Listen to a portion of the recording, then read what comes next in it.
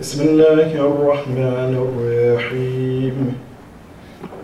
الحمد لله الولي الحميد الفعال لما يريد. وصلى الله على سيدنا ونبينا وحبيب قلوبنا أبي القاسم المصطفى محمد. اللهم صل على محمد وآل محمد. وعلى آله الطيبين الطاهرين المعصومين لا سيما بقية الله في الأرضين.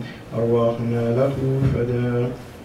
أما بعد فقد قال الله سبحانه وتعالى في كتابه المجيد بسم الله الرحمن الرحيم. يريد الله أن يبين لكم ويهديكم سنن الذين من قبلكم. ويتوب عليكم والله عليم حكيم صدق الله علي العظيم اللهم صل على محمد وآل محمد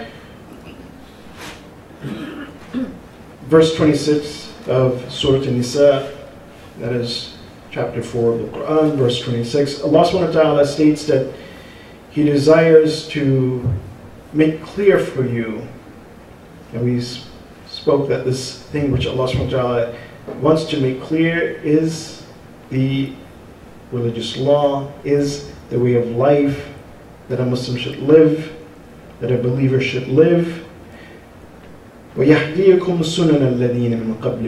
And he desires to guide you by the customs, by the tradition of those who have come before you, and particularly, as this verse is referencing, by the traditions of the prophets who have come before.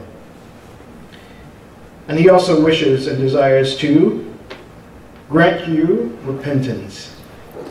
For surely Allah, He is all knowing, He is wise.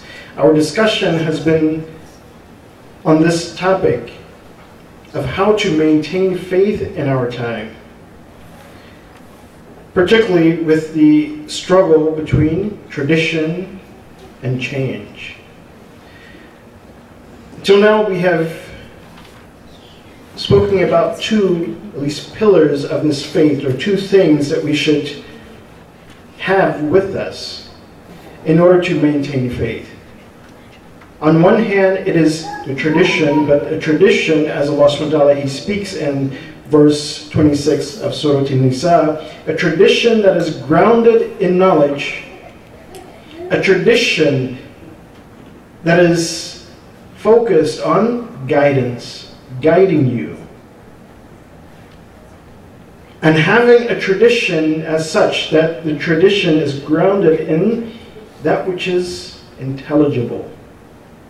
That which, again, in it there is knowledge. And your understanding how to apply it is wisdom. On one hand, this is what we should have. And we spoke about this in the very beginning. And yesterday we also spoke, and the day before, about the other aspect or the other thing which we need in order to maintain faith, and that is the Quran. And developing a relationship with the Quran. Following the guidance of Ahlul Bayt to make Quran a part of our lives, recite the Quran such that, as Imam Sadiq he says, that the Quran becomes mixed with your blood and with your flesh. In other words, become insan Quraniyun, wa Quranun natiq, however you want to express it. To become the walking, talking, speaking Quran, something that is possible for each and every one of us. And we see that the true students of Ahlul Bayt, wasalam, that they reached to this point. Though they were not one of the 14 ma'asumeen, but because they followed the life of the Prophet, followed the life of Ahlul Bayt, and learned as they should have learned, then they became these walking, talking, speaking Quran, such as Fidda, who spoke by the Quran. You ask her anything about her life, she spoke by that Quran.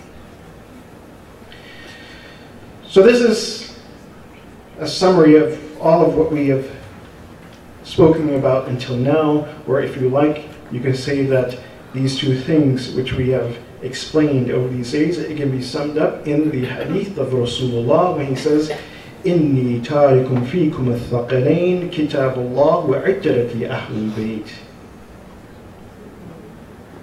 ومن تمسك بهما لن يضل أبدا That I am leaving behind two weighty things the book of Allah and my family, and whoever takes both of them. Not one of them, but both. And we explained yesterday why both. That both of these things are complementary to one another. That if the Ahlul Bayt, they are Quran and natiq, then their actions coincide with the Quran. Their speech coincides with the Quran. And we see on several occasions, as the Imams they mentioned, they said that if they say something or if they do something, you can ask them, where's this action or where's this statement in the Quran? So this is what we need. These are the two things that we need. And by holding to those two things and again, making it a part of our lives, not simply following any tradition, custom, anything that comes about, and if it's not grounded in knowledge, and that knowledge, again, is going to be grounded in the Quran. This is why we are to take both of them. Because we mentioned that sometimes the, or at least one of the possible reasons why the traditions of Ahlul Bayt alayhim has not taken its proper place within the Ummah, has not taken its proper place within the community, is because there are things that are said, oh, we should do this or we should do that. This is the tradition of Ahlul Bayt. But when we actually examine them closely, we see that no, these are not the tradition. The traditions of Ahlul Bayt do not contradict the Quran. The traditions and the way of life of Ahlul Bayt will not contradict the Quran. And this is why the Prophet he says, hold fast to both of them. Examine them both together. And this is one thing that's, if you want to practice this or you want to see this, and you're someone who does some research or a little bit of research, I will say take the Sahifat al-Sajjadiyah. This will be maybe a little bit more easy for you. Take Sahifat al-Sajjadiyah of Imam Zain al-Abidin alayhi salatu wasalam. And as you read the Sifat Sajjadi of Imam Zain al-Abidin, you compare it with the Quran, with the teachings of the Quran. And subhanAllah, you'll see that these two things are running parallel. That what Imam Zain al-Abidin, he teaches and he states in the Quran is there in, or in the Sifat Sajjadi is there in the Quran. And I'll give you just one quick example, so as not to focus on this because this is an aside. But one of the things that Imam Zain al-Abidin, he does in Sahif al-Sajjadiyah, and he does so with a goal and an objective. That almost every hadith, every dua in Sahif al-Sajjadiyah begins with Salawat ala Muhammad wa Muhammad.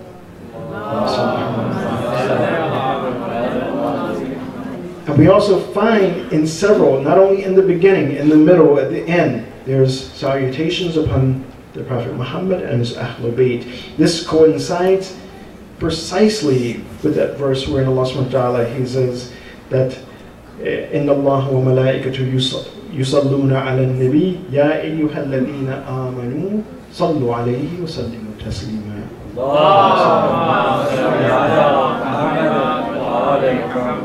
that owe you, that surely Allah subhanahu wa ta'ala and His angels, they give salutations to the Prophet Muhammad and oh you who believe. Allah subhanahu wa ta'ala is speaking to the believers, those who claim that they have iman and faith.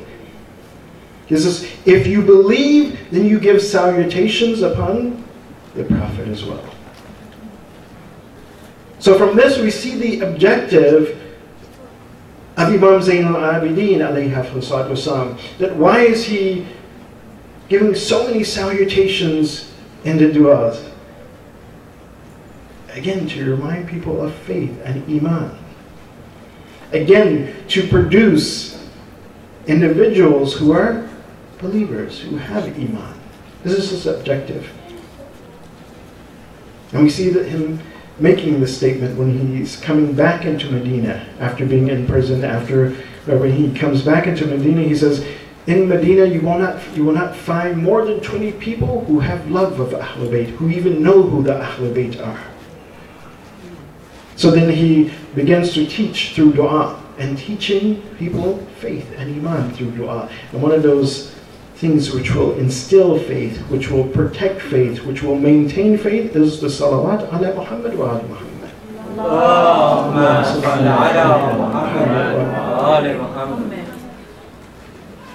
So this is why Imam Zain Abidin does this. But again, the point is how what the Imam is teaching through dua, how it parallels with the Quran. It is in sync with the teachings of the Quran. And as our discussion is about this idea and this concept of maintaining faith, maintaining Iman, we know that the two pillars of that Iman is the tradition, grounded in knowledge, and the Quran. But what exactly is Iman? What is it that we need and what is it that we should be striving for? What is the reality of Iman and faith? Imam Ja'far al-Sadiq alayhi salatu wasalam he states إن من حقيقة الإيمان أن تؤثر الحق وإن ضرك على الباطل وإن نفعك وَأَنْ لَا يَجُوزَ مَنْتِقُكَ عِلْمَكَ He says, from the reality, haqiqatul iman, that if you want to understand what is true faith, he says, truth faith lies in this. And تؤثر الحق. That true faith will project itself in truth.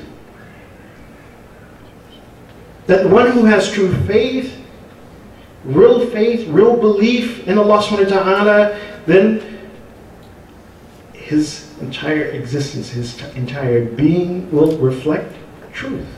Haqq. He says, وَإِن ذَرَّكَ عَلَى الْبَاطِلِ So much so that the individual, he will speak truth, he will act by truth. He will act by that which is right. وَإِن ذَرَّكَ عَلَى الْبَاطِلِ Even if it led to one's own detriment in face of that which is wrong. Meaning that if a person had to choose between right and wrong, lying or telling the truth, and if he lies, then that person will be safe.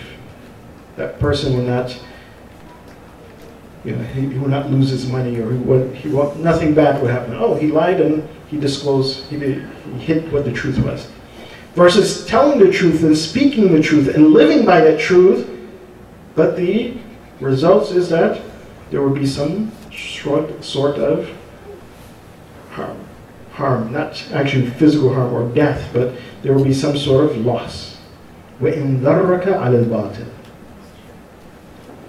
that there was something that was lost. And this is, again, what Karbala is about. That if Imam Hussein, he said, uh, okay, well, I really don't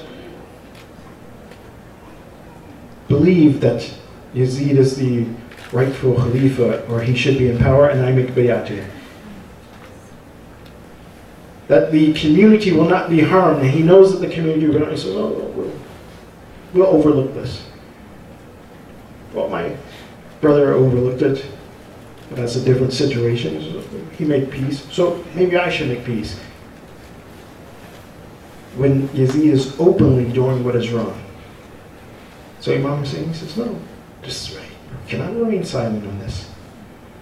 What happened in the past, there were things that were going on, things which were hidden, But now Yazid, he has brought these things out to the open. But he is doing things directly against the Sharia, directly against Islam, to destroy Islam. So Imam Hussein says, no, we cannot remain silent. وَإِن دَرَّكَ عَلَى الْبَاطِلِ وَإِن نَفَعَكَ So living by truth, again, whether that truth, it also aids you and assists you.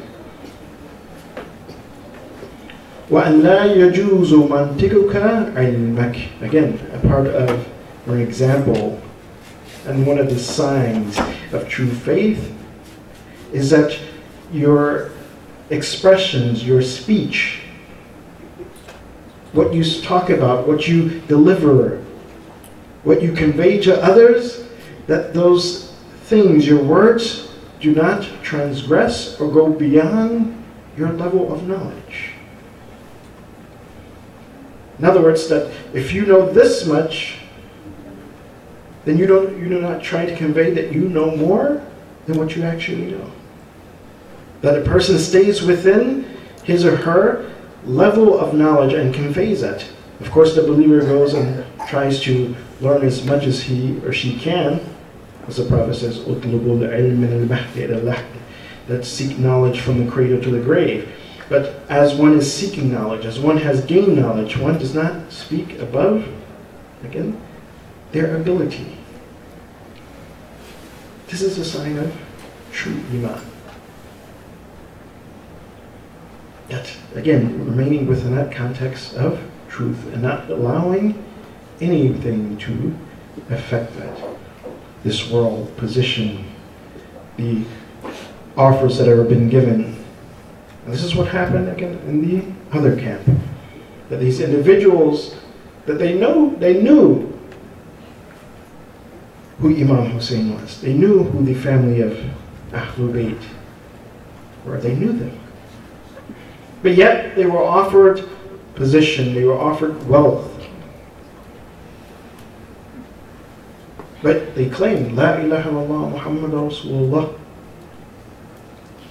At least this is what their claim was. They claimed that they had faith.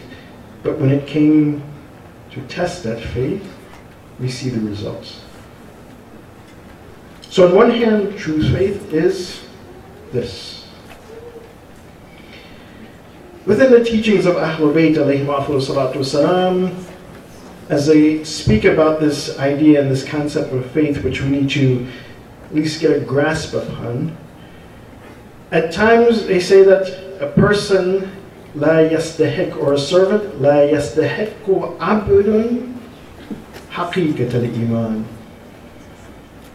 and at times they say لا يستكمل عبد حقيقة الإيمان sometimes they express this idea of obtaining or gaining or receiving or being blessed by having true faith they explain it almost as a, a blessing يستحق deserving. That a person does not deserve true Iman until they have done these things.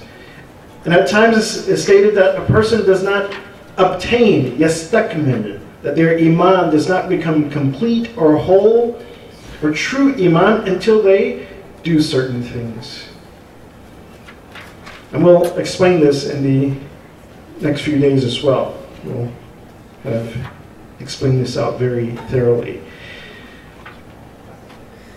With regards to the completion of faith and obtaining true iman, the Imam states in Imam Sadiq, he says, لا يستكمل عبد حقيقة الإيمان حتى يكون فيه خصال ثلاث.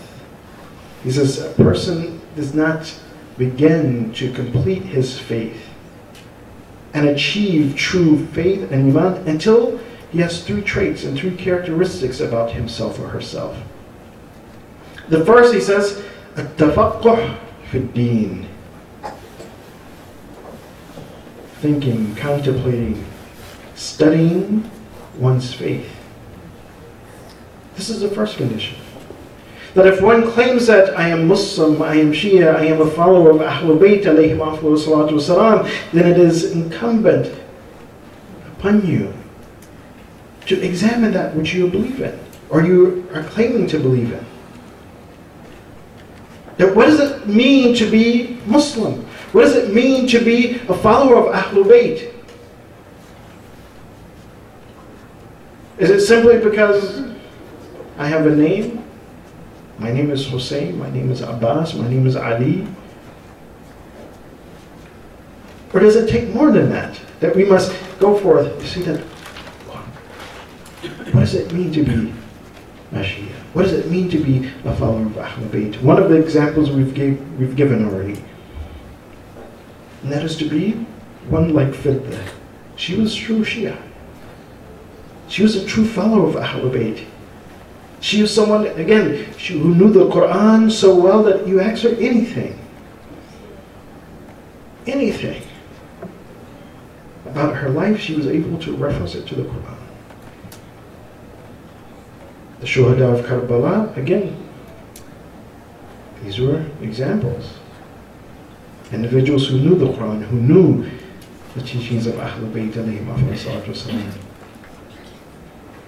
And throughout history, there are individuals, again, when we read their lives, we see that, subhanAllah, these are really those who followed the Ahlul Bayt, who learned from the Ahlul Bayt, who again try to embody the teachings of Ahlul Bayt wasalam. So Imam says the first means of completing your deen is having tafaqquh fi deen. And tafaqquh fi deen, again it comes from the root fiqh. Doesn't mean that you have to become a jurist or a mujtahid. No, tafaqquh fi deen. Think, read, examine your faith. In fact, Imam Sadiq, he stated, أفقه nas, that the one who is most faqih here means the one who understands most about their deen and their faith. He says, Man arafa ma'arad kalamina, that individual who understands the place of our hadith, our statements, that individual who understands how to apply our teachings to their lives. He says, this is the one who is afqah, this is the one who has in depth understanding about his or her faith. That they've read the lives of Ahlul Bayt, they have studied the hadith, the traditions of Ahlul Bayt, and they understand how to apply it to their lives. The second endeavor that we must undertake in order to obtain true faith, the Imam, he says, وحسن التقدير في المعيشة سبحان الله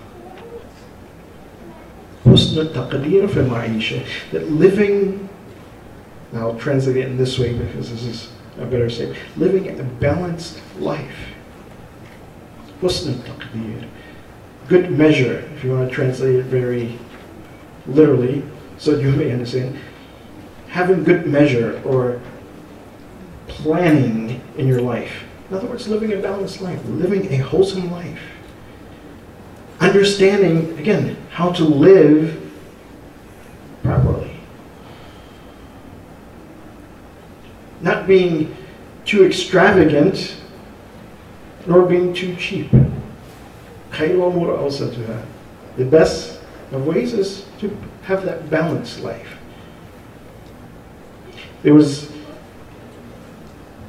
at one point, the prophet, he came across a group of individuals who were traveling, just to give you some idea. They were traveling, and when the prophet, he asked them, he says, who are you? They, claimed, they said that, نحن مؤمنون, that we're the believers. So the prophet, he asked him, he says, so what is the sign of your iman?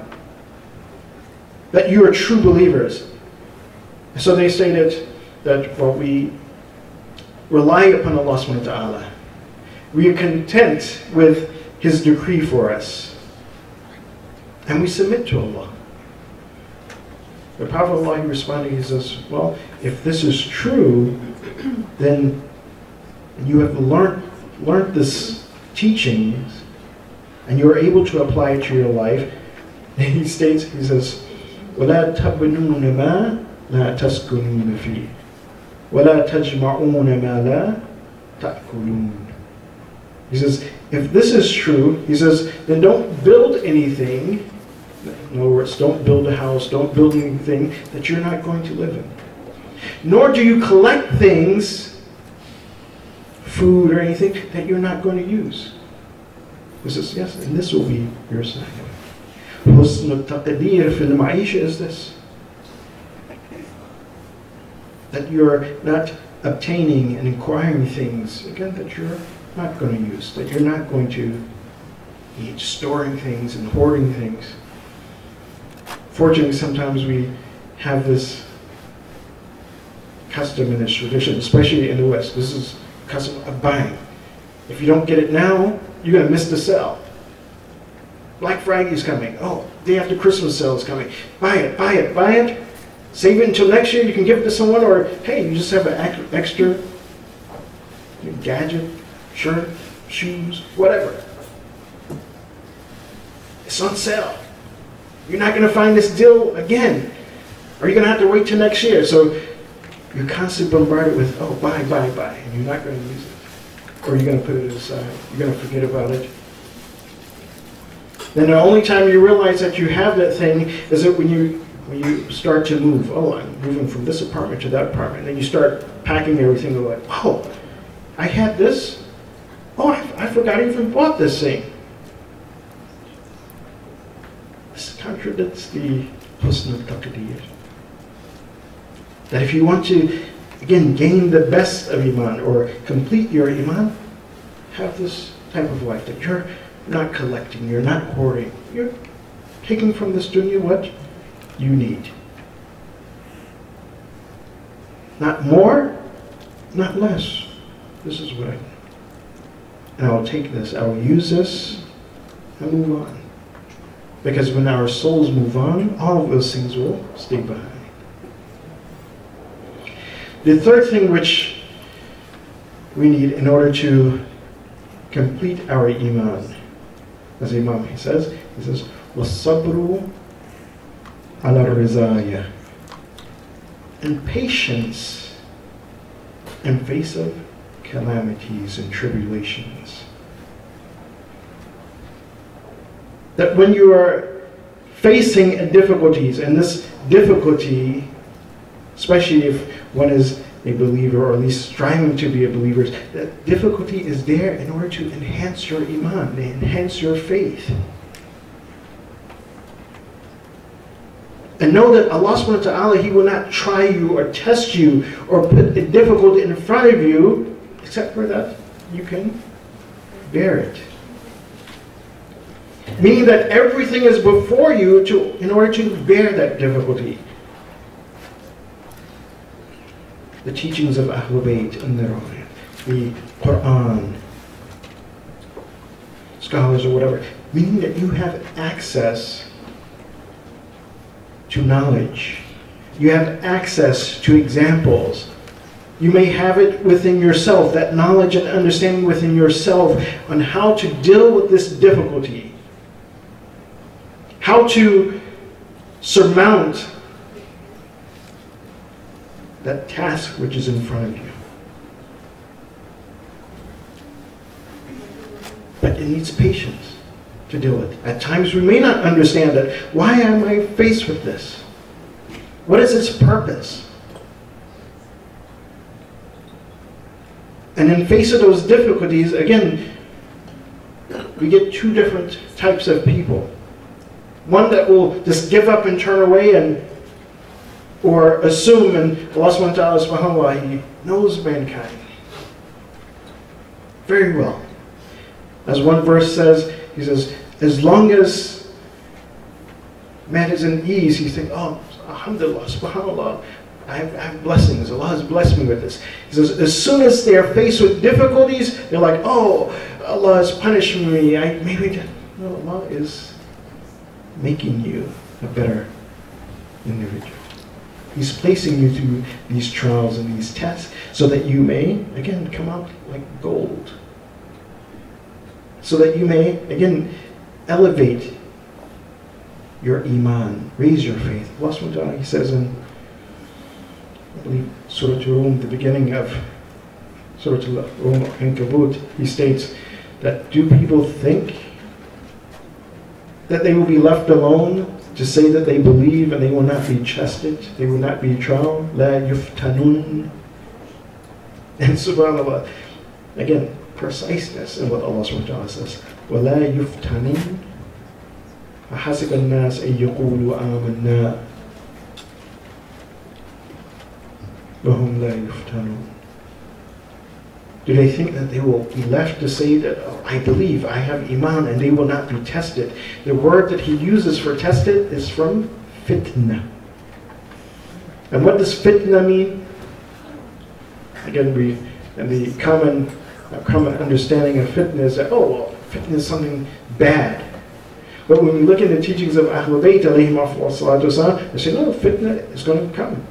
And don't pray to Allah subhanahu wa ta'ala that you don't face fitna. He says, Imam Ali, he says, pray that you're not misguided by fitna. But you will be tested with tragedy. You will be tested with difficult situations. And according to the teachings of Ahlul Bayt, he says that, that fitna, is what the word actually means. He says, when you extract gold, one of the process or the processes of separating gold that is maybe embedded in rock and other things is that you put that gold or you put that rock and gold into a container and you heat it at a very high heat to the point that the melt the gold melts and it separates from the other things. This is fitna, fatana. Imam Sadiq, he says, and you will see this happening. In fact, he says, and he specifically states about this year, he says, you'll see that as time goes on, he says, that people would be tested, they would be tried, just as the gold is heated up and extracted from the rubbish, the rock, which is not gold. He says, mankind will face tests in the same way until we see that those who are pure, those who will follow the Ahlul that they will be extracted and separated from others. One of those tests is Karbala. And if we really looked at the history of Karbala, who was fighting against Imam Hussein? Even among some of those who we look upon them as the worst of worst of characters. Shimr, for example. If we just simply look at, speak about Karbala, oh Shimr, Shimr fought alongside of Imam Ali. Shimr was with Imam Ali in the Battle of Siffin. Shimr was from Kufa. And even at one point in the history, Imam Ali, he told Shimr, he says, you will be the one who murders my son, Hussein. And at that time, Shimr, he says, how can this be?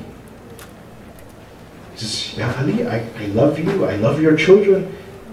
How can I be this one? But when the test came to choose Iman or faith over choosing this dunya, we see what his choice was.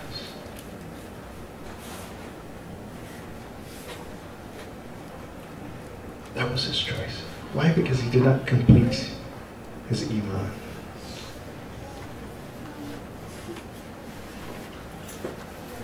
We remember the tragedy of Karbala. For this purpose, as Imam Sadiq stated, that one of the things that you need in order to complete your iman, as-sabru ala razaya, patience in face of tragedy, calamities, tests. We listen, we commemorate, we remember the shuhada of Karbala. We remember their tragedy, their tests, what they faced, so that we may be given strength to face our difficulties in life.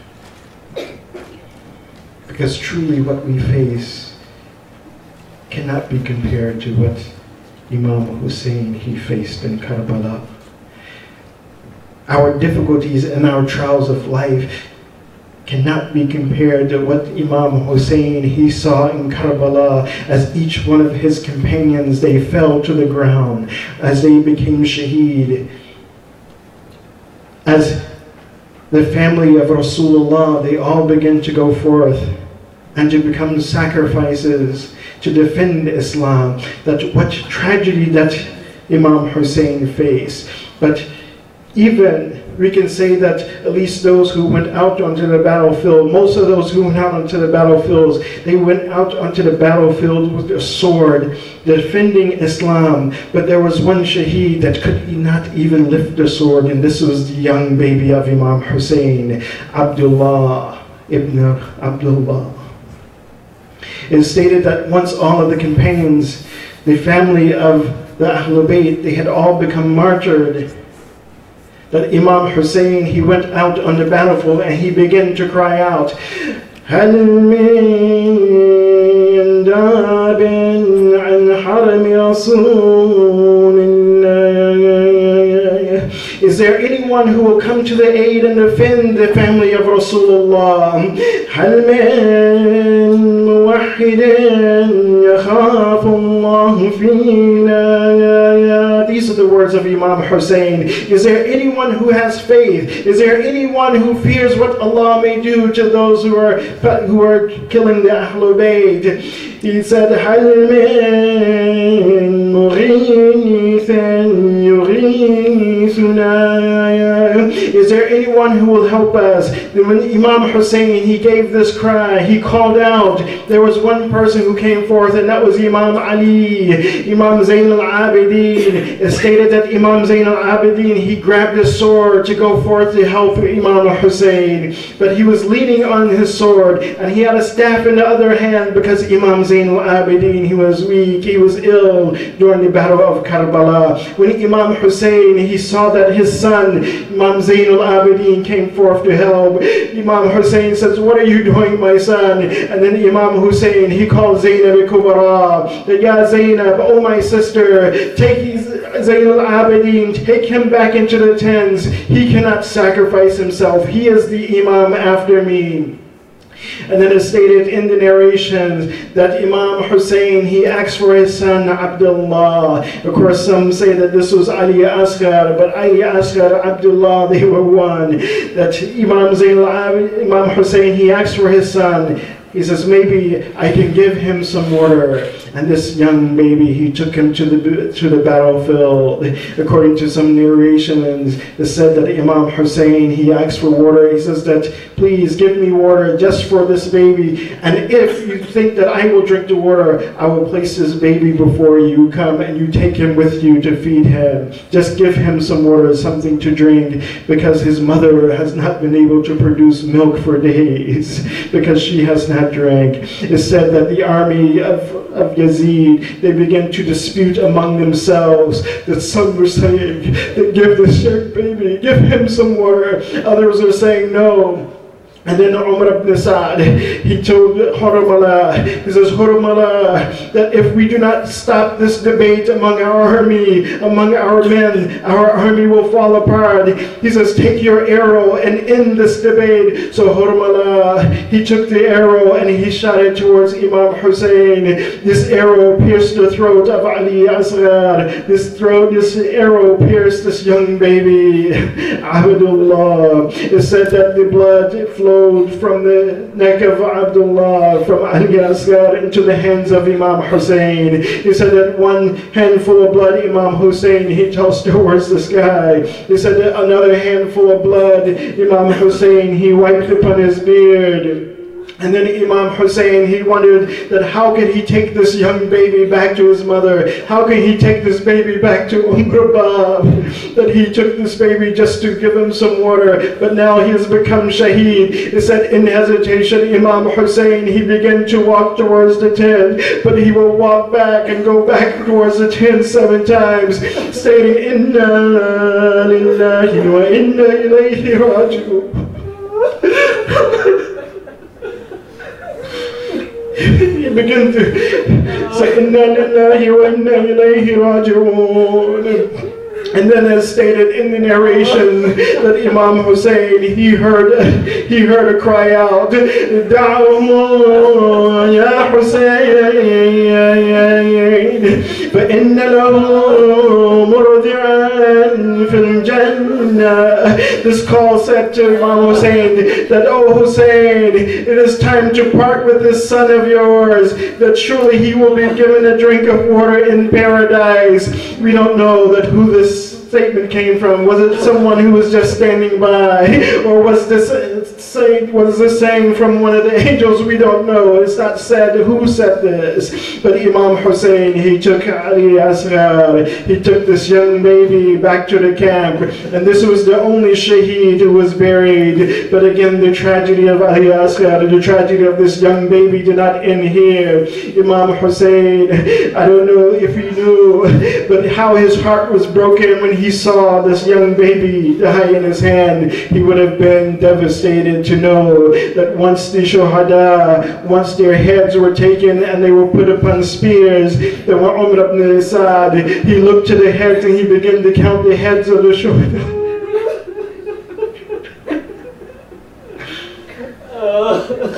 when he began to count the heads, he knew, he, Umar ibn Sa'd noticed that there was one head missing. This was the head of the young baby of Imam Hussein. Then he ordered his men to take their spears and pierce it into the sands until the body of Ali Asghar was pierced. It pierced him in his chest. They pulled the, this body out of the ground and decapitated this young baby and put his head upon the spear.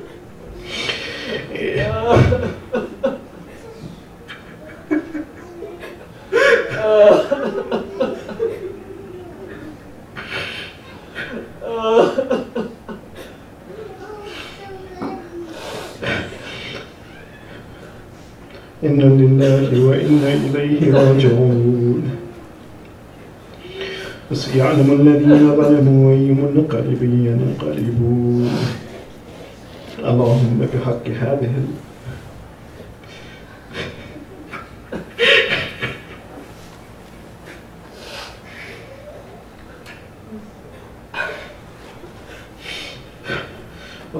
بحق هذه المجلس الحسينية. اغفر ذنوبنا واستر عيوبنا واقضي حوائجنا. واشفي مرضانا وارحم أمواتنا. وعجل فرج مولانا صاحب العصر والزمان وجعل من أعوانه وأنصاره والمستشرين بين يديه بحق محمد وآله الطاهرين. Allah, by the blessing of this commemoration of Imam Hussein, forgive our sins, cover our shortcomings, cure our ill ones, have mercy upon our deceased ones. Haste in the reappearance of Imam Zaman, make us among his helpers, his companions, and those who sacrifice our lives for him. Fatima Hussein.